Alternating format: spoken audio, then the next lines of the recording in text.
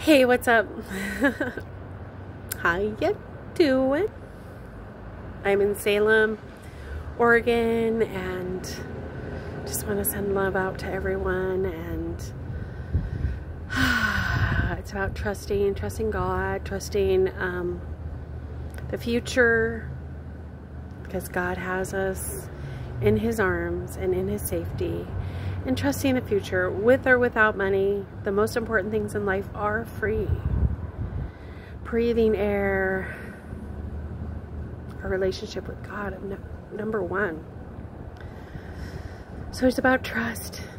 It's about not, it's about knowing we're under his wings. And knowing that he knows what's best for us. So just take a deep breath and rest in God. The future is bright.